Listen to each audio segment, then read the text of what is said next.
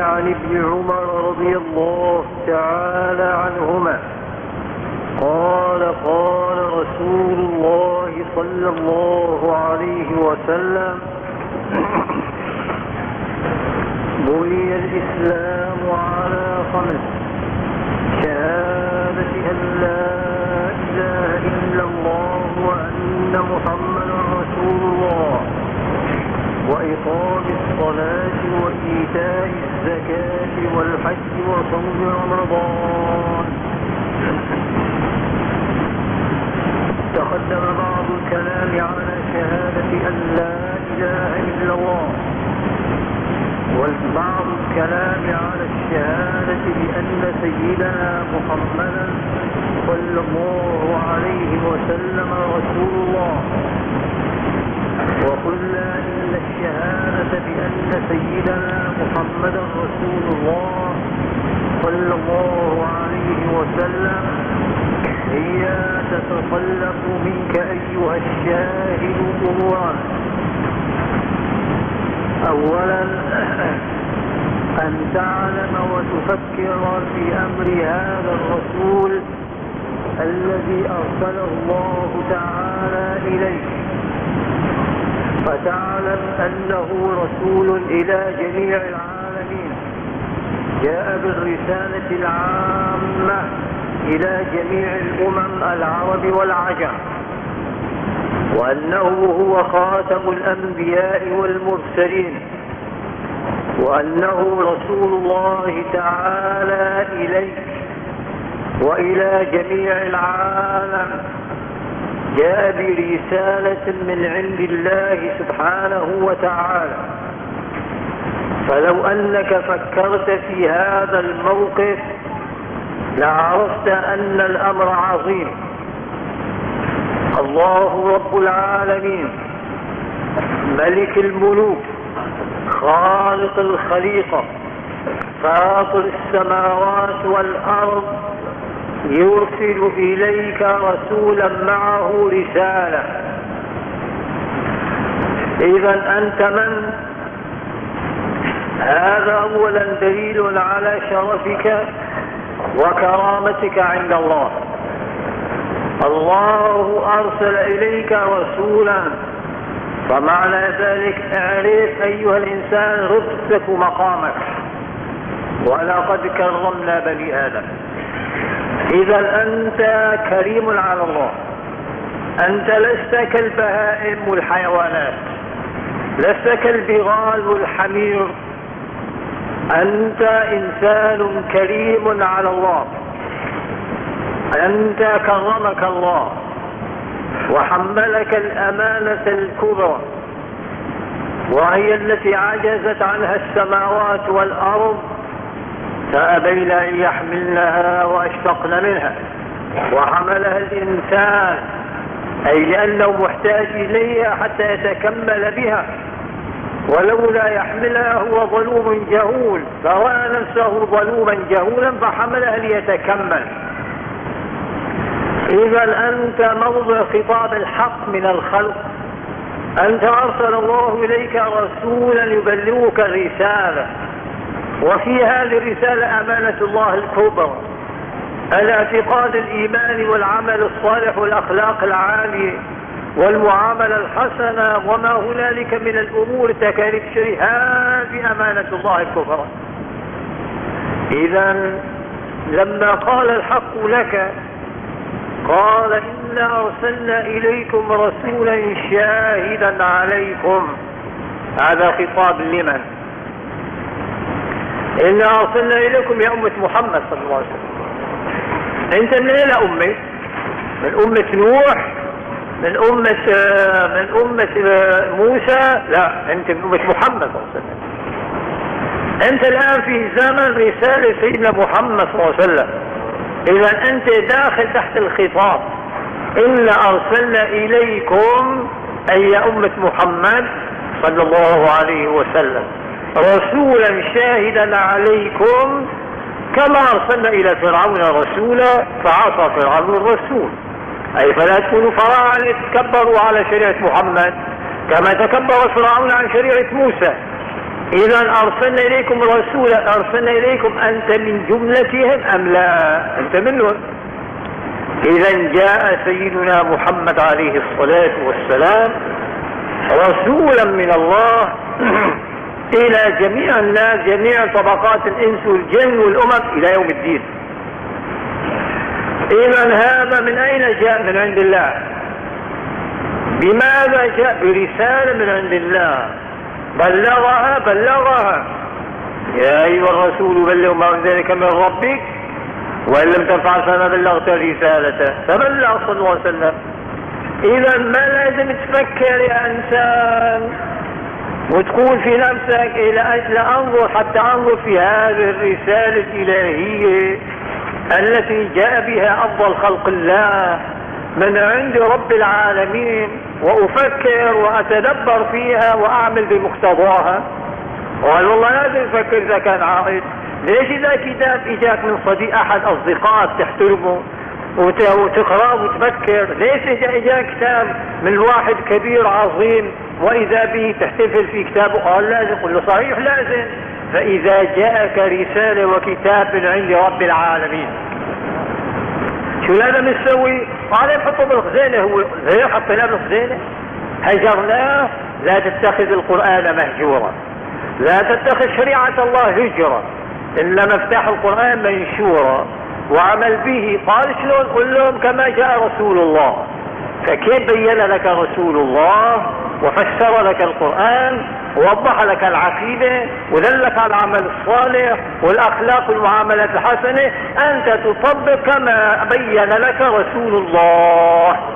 عليه الصلاة والسلام الذي قال الله تعالى له لتبين للناس ما نزل إليهم.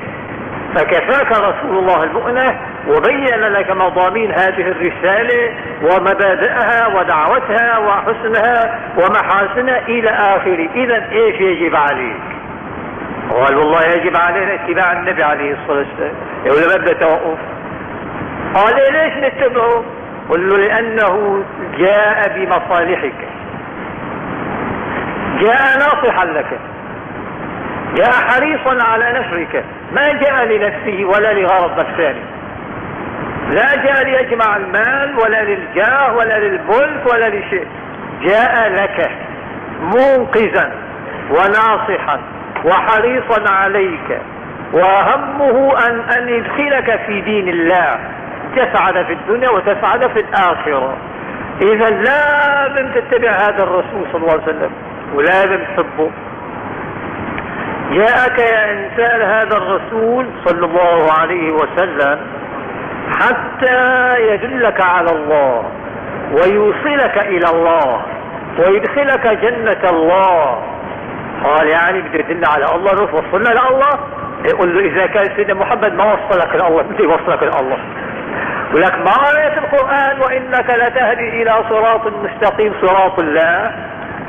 فالصراط الذي دعا إليه سيدنا محمد هو طريق الله يا إنسان هو الموصل لله جاءك عليه الصلاة والسلام يطهر نفسك يزكيها لأن نفسك فيها دنس فيها أدناس وفيها أرجاس وفيها أخلاق ذميمة وفيها أيضا دواعي الشهوات الذميمة وفيها ما فيها فجاء يطهرها يزكيها. ينمي فيها الخير ويبعدها عن الشر وهذا معنى التزكية. قال قل له الآن يا رجل نحن ما نتكلم من عقل ولا نتكلم بضرب من الخيال ولا بالتمثيل. نحن نذكر لك ما جاء في رسالة الله التي بعثها إلينا مع محمد رسول الله وهو القرآن والحديث النبوي. ما قريت القرآن؟ ما فهمت ليش جاي سيدنا محمد؟ ليش الله أرسله؟ ما هي فضولية الشغلة انه الله أرسل رسول أنا اتبعه أو لا اتبعه لا. أرسل الرسول لمهمات لأن مصالح البشر منوطة ومعلقة فيما جاء به هذا الرسول. سعادة دنياهم وآخرتهم. قال هي قل القرآن. قال الله تعالى قال لقد من الله على المؤمن كما أرسلنا فيكم رسولا منكم يتلو عليكم آياتنا ويزكيكم. ويزكيكم. إذا جاء حتى يزكينا. قال معنى التزكية قل له التطهير التزكية ومنه الزكاة. إزاي ها مو بالزال. إزاي التزكية تدل على شيئين. النماء والإزالة.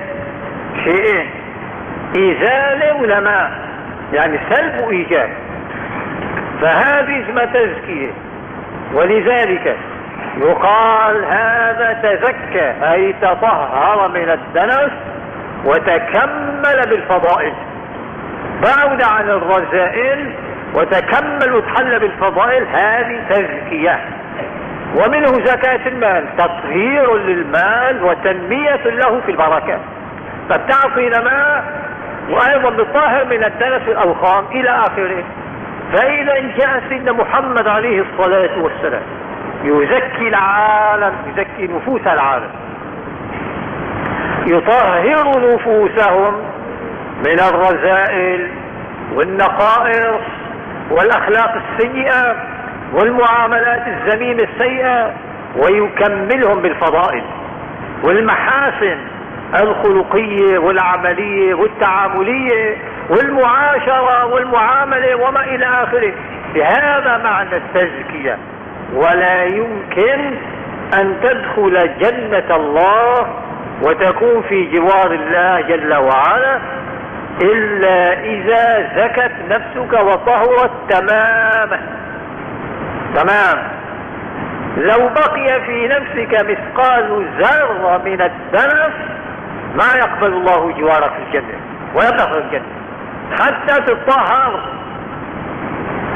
قالوا الدليل قل لك القرآن يا رجل. القرآن إيش نزل؟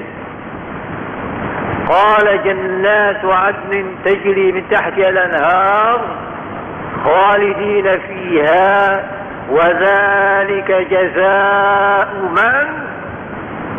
أي جزاء من الجنة؟ جزاء من تزكى. أي من تطهر من تطهر فعمل بما جاء به رسول الله. هذه تطهر.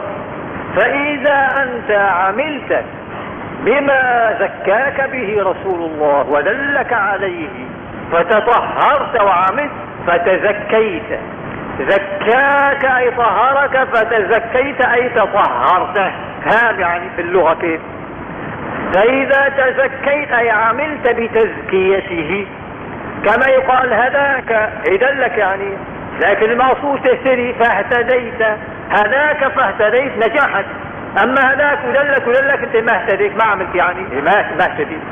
فزكاك فتزكيت اذا انتفعت فالتزكي هو التطهر وهو العمل بما جاءك به رسول الله صلى الله عليه وسلم. إذا ما يدخل الجنة إلا من تزكى أي طهرت نفسه. ولم يبق فيها ولا مثقال ذرة من الخبث أو النجس أو الدنس أو الوخم أو الرذالة إلى أبدا. ولم يبقى ذرة. يقول عليه الصلاة والسلام. لا يدخل الجنة من كان في قلبه مثقال ذرة من كبر. مثقال ذرة. تعرف ذرة قال قول النملة صغيرة قال له لا أدق من هيك. هي اسمها ذرة حجمها صغير بالنسبة لغيرها. لكن في أدق قال الترابة يقول له في أدق الذرة جزء لا يتجزأ خلاص.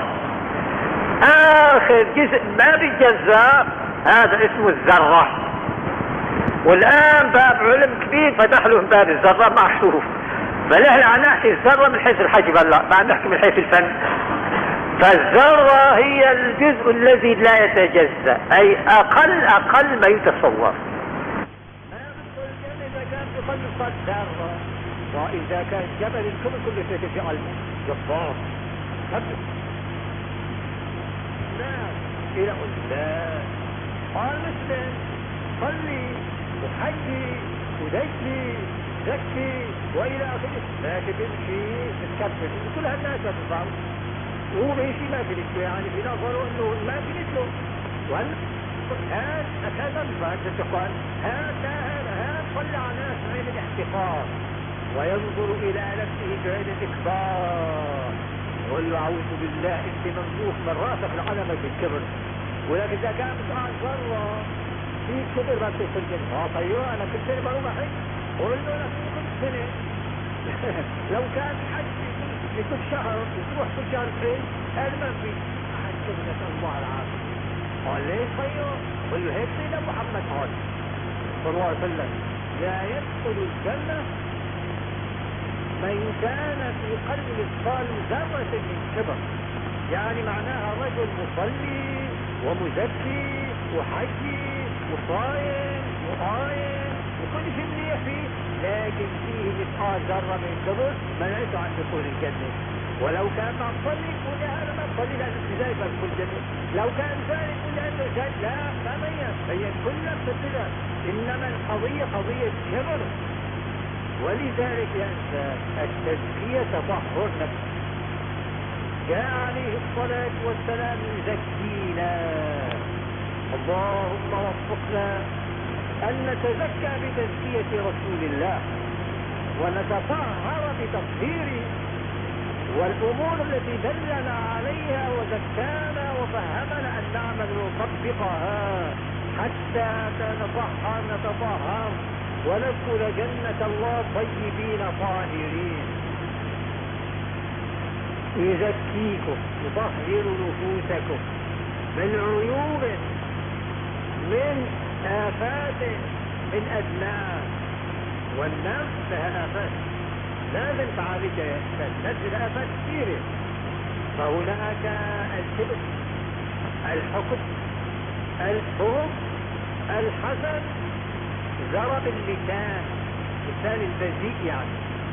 وهكذا الخلق السيء المعاملة الخشن الغليظة السقانة السقانة سعيد سعيد صعد الأمور. قال هذا إيذاء هذا إيذاء واحد استعر بيجيك في وقتي سؤالي لما لك تتحضر أنت؟ لا لا انت بدي السقالة نوع من الإيذاء. قال لا تكبر قل له قرآن.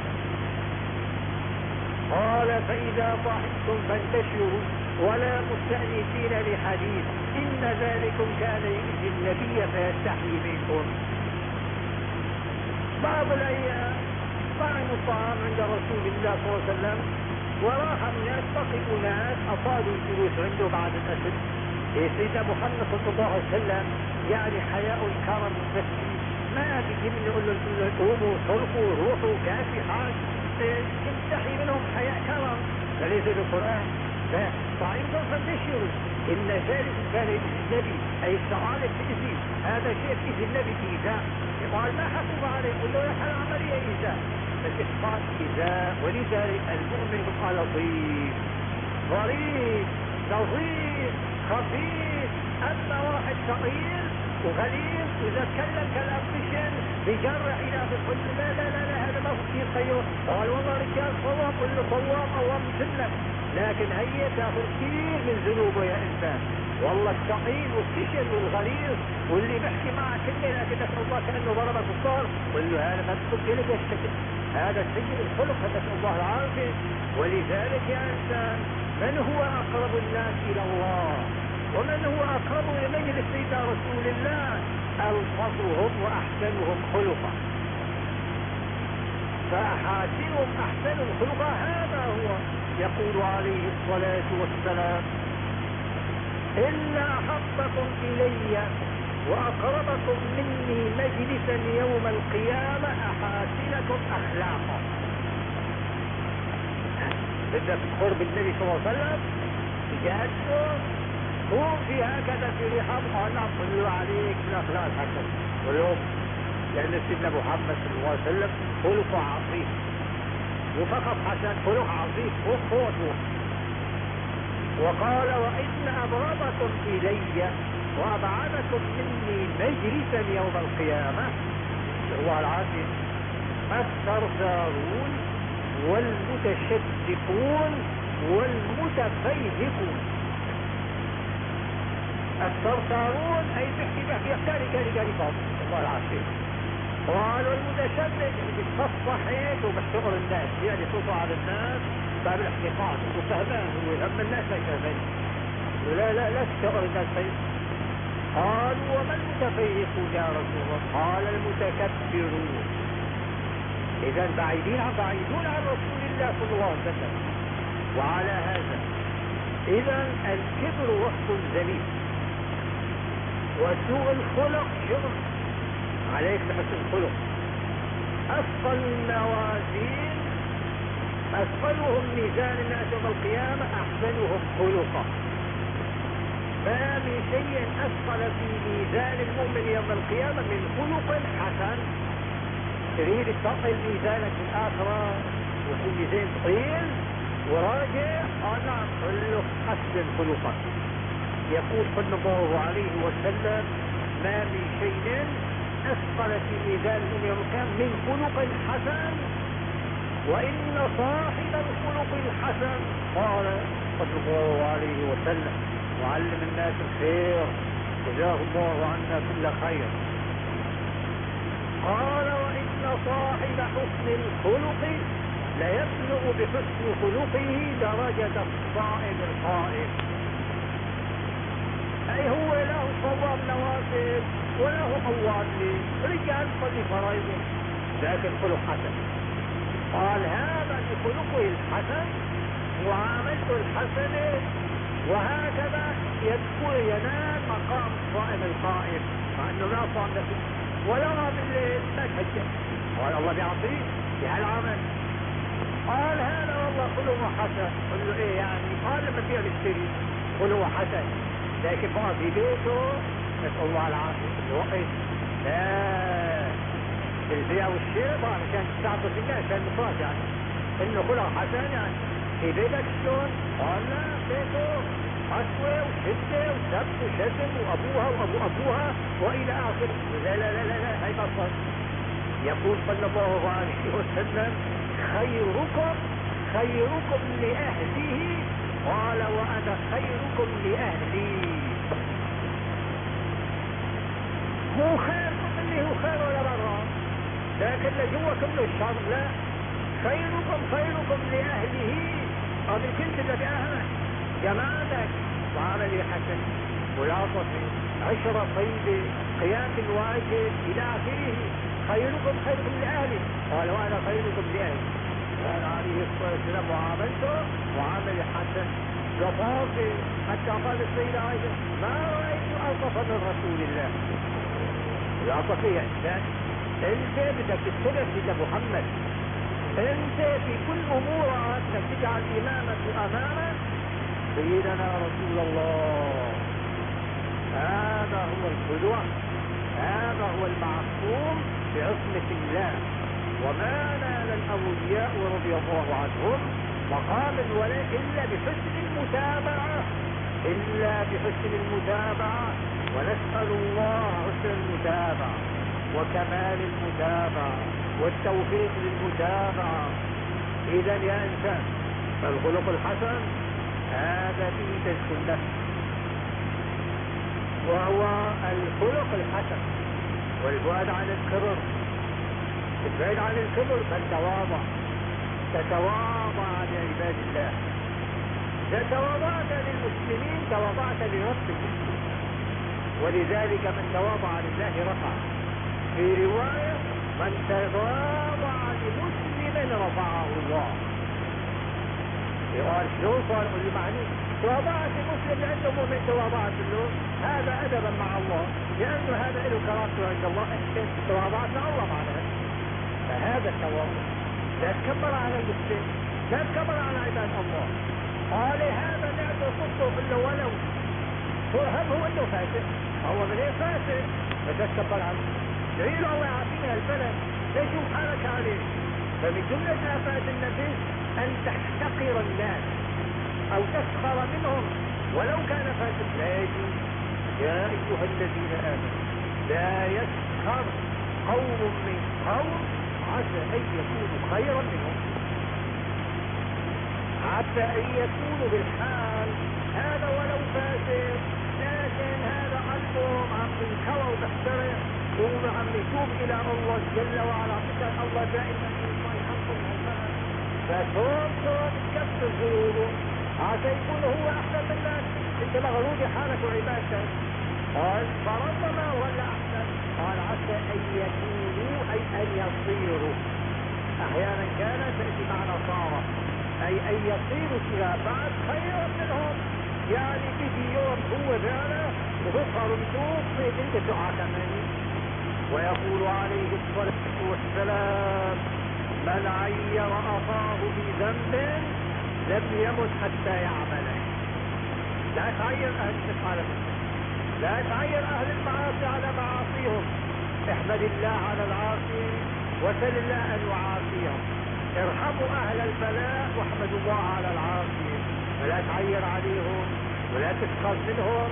من عير أخاه بذنب لم يمت حتى يعمله هذا الحديث وارد. اذا انت تكون نعمة الله. الله يتوب عليه وقل التوبة ويعافيه من هذا البلاء الوقت إلى آخره. فالسخرية لا تجوز.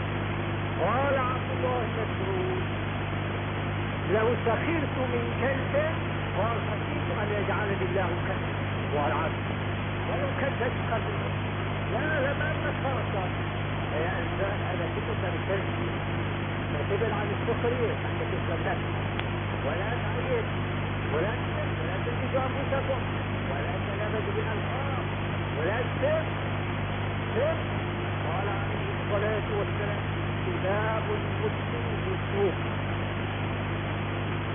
كتاب إذا سبيته فنار قال هنا هذا هذا حرام لا يجوز. قال يعني يقول له له لا مو ما ابوه ولا السب هو هو الطعن بأي طريقة. فإذا تسيب لأبوه هذا من أكبر الكبائر الله العافية إنه يلعن أمه يلعن له لا لا هي زيادة عن السب هي هي من, من أكبر الكبائر لكن السب يتكلم فيه بطعن بشيء مسري إلى آخره. هذا اسمه سب يا حي تذبح طعن إلى هيك وإلى آخره. هذا يا إنسان هذا سباب المسلم فسوق كما وان فلذلك أنت ثم أنت يجب أن تتذكر أول كل تحفظ لسانك تزكية اللسان من الكلام السديد وتزكية النفس والأخلاق النفسية من الأخلاقية وهو تبع عن الكبر كما قلنا وسوء الخلق وما شاكت والحقد هذا أيضا وصف خلق قلب نسأل الله العافية حقد بغض نصحى إياك أن تبغض أو تحقد يا إنسان أو تحسن فهذا كما ورد يقول عليه الصلاة والسلام. يحذر المسلمين من البغضاء والحقد. وأن صلاتهم وأعمالهم ما تضرهم إذا كان فيهم صفة الحقد. والبغض قال دب إليكم داء الأمم قبلكم. أخبر صلى الله عليه وسلم عما يقع في آخر هذه الأمة من التغير. تغير القلوب كانوا في الصدر الأول تحابوا تناصر. قال في زمن قالوا تباغض. قال لما إليكم دور قبلكم الحسد والبغضاء. حسد. صلى على فلان وفلان وكذا وزيد وناقص حسد. وبغض. قال وهي الحالقة أي هذه الخصلة حالقة قال حالة حلق تحلو يعني؟ قال تحلو قال أما إني لا أكون تحلق الشعر.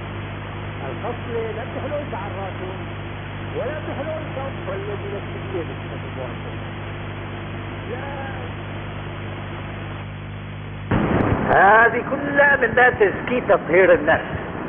ومن الجملة اللسان. احفظ لسانك. هذا اللسان أحوج ما يكون إلى أمساك.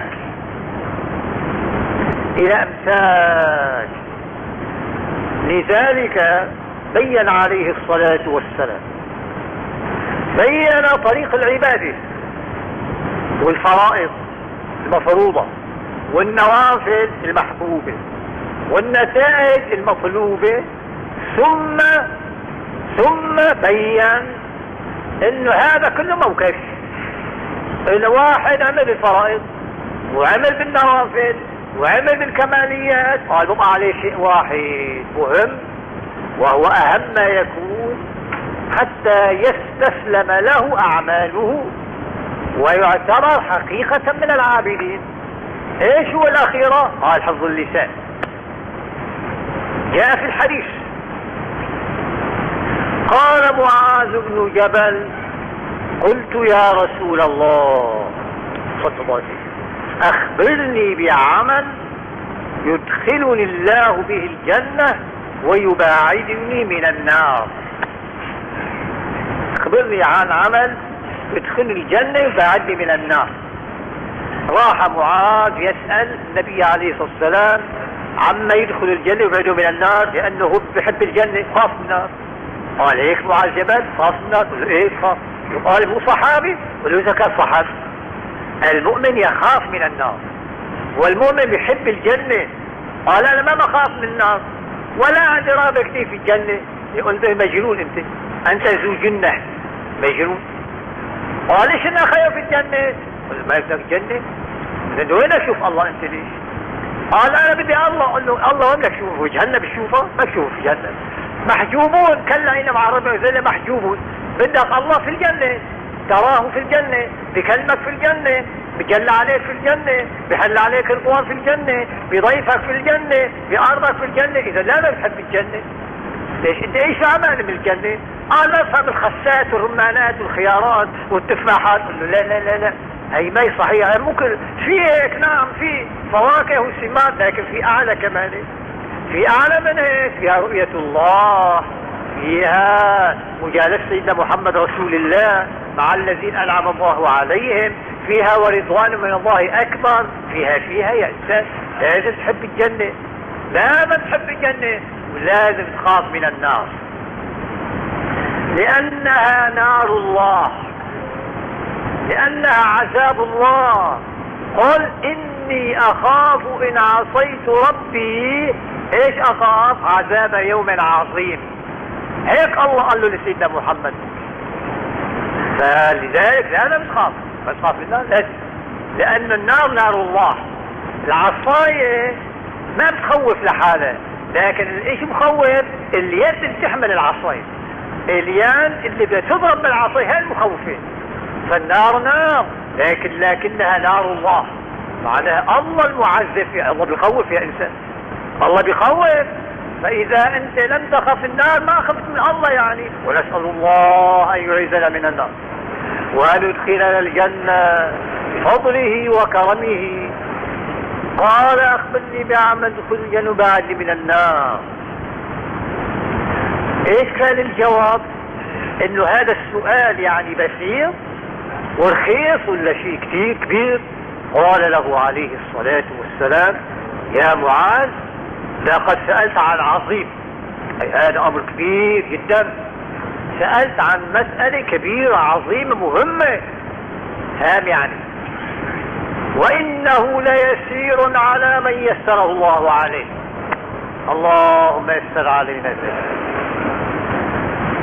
الطريق لدخول الجنة والبعد من النار. قال له تعبد الله لا تشرك به شيئا.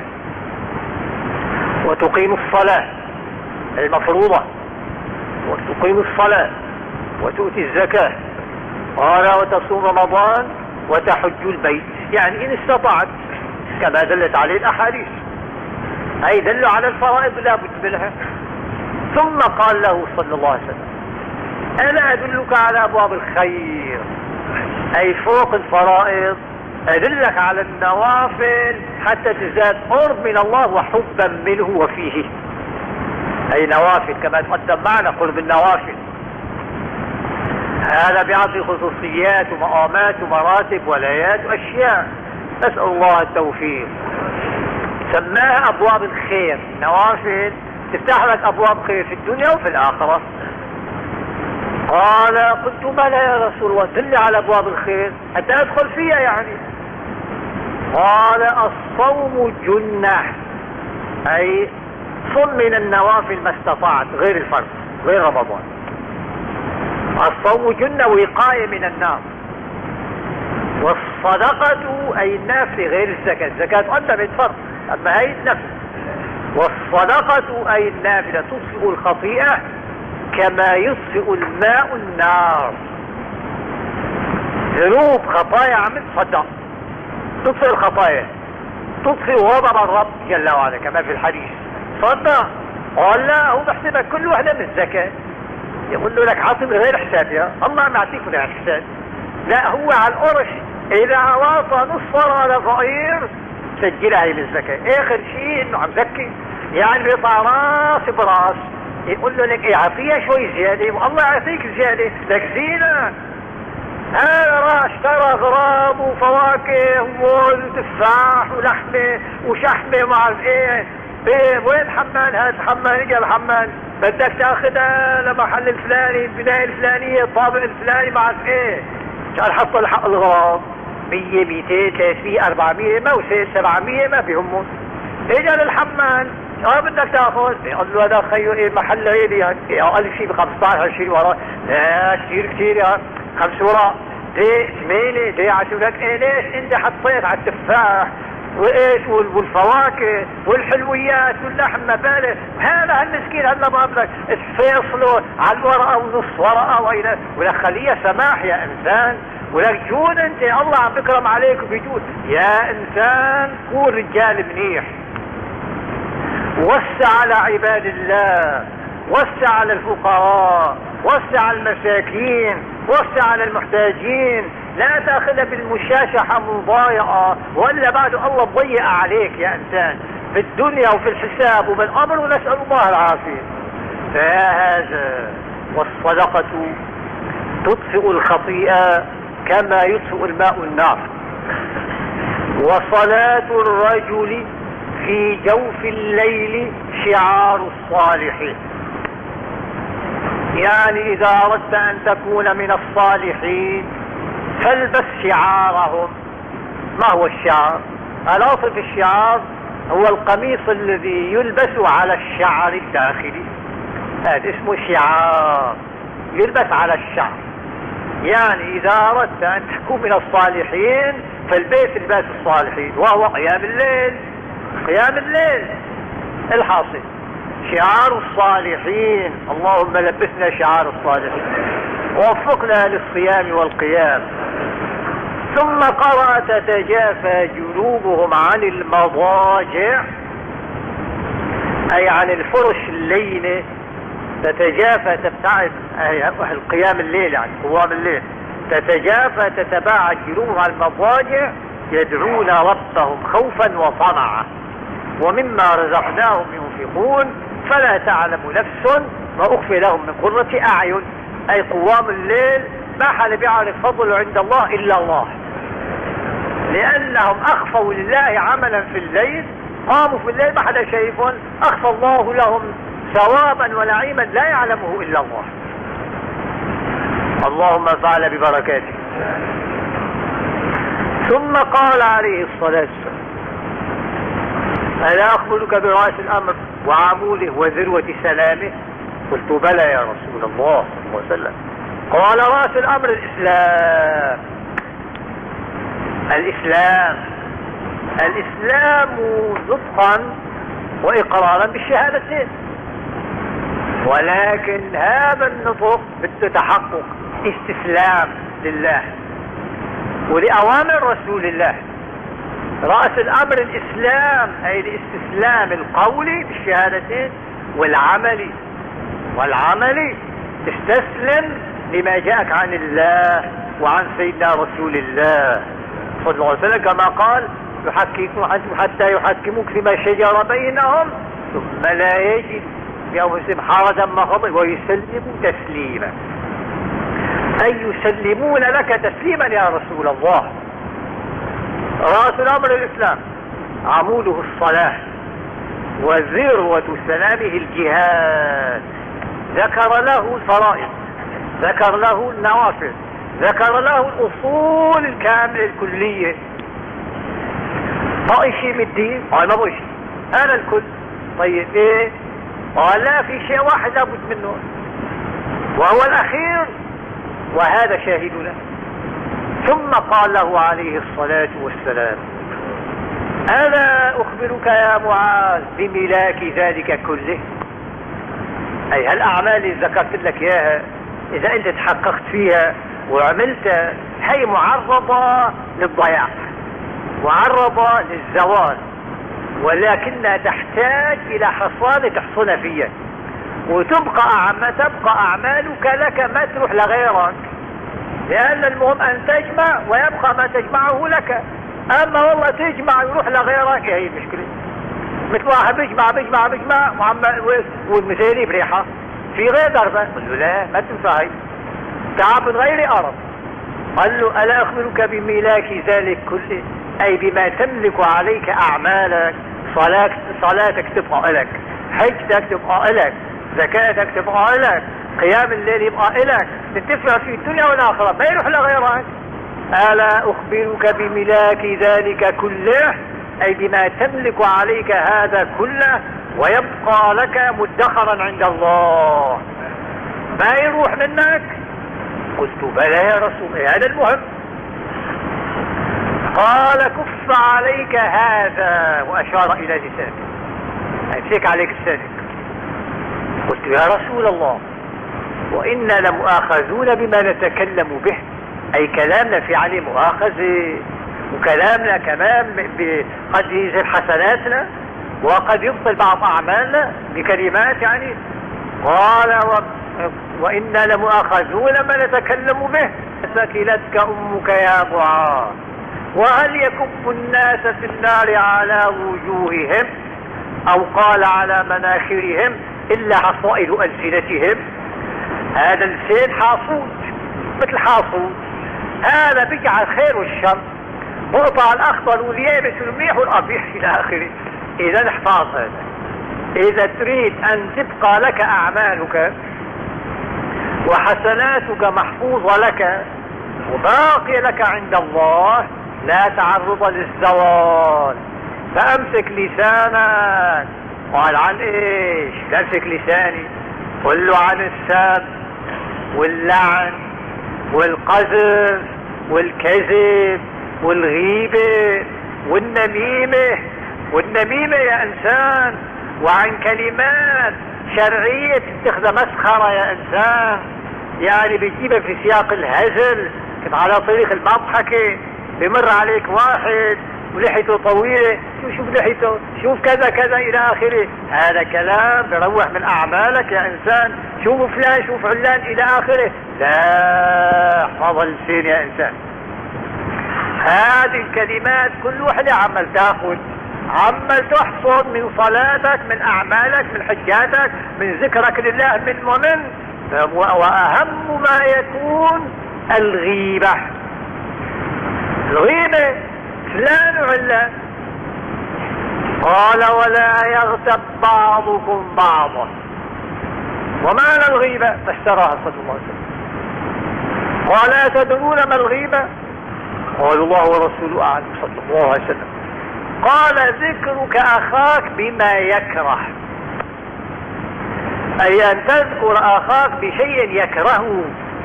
ما بريده قال يا رجل يا رسول الله صلى الله عليه وسلم أرأيت إن كان في أخي ما أقول؟ أي قلت فلان كذا. وموجود هالوصف فيه؟ قال إن كان فيه ما تقول فقد اغتبته. أي غيبة. وإن لم يكن فيه ما تقول فقد بهته أي أيفيت ببهتان عظيم أكبر من الغيبة. فالغيبة تذكر أخاك بشيء موجود فيه لكن ما بريد فلان بيته مو كويس. قل له أي غيبة؟ ما بريد الكلام خير. فلان ابنه ما بنفع خير ما بريد بيعرفوا ما بنفع بس ما بريد تحكي عليه الحكي فلان على قولك جبته فشلة. فلان ومبازه ما عم يشبه. وإنه انه عم تحكي شيء موجود فيه بس ما يعني هذا ما بريد هالكلام. بت يعني بتألم من الكلام بتأثر. وليش عم تسوي له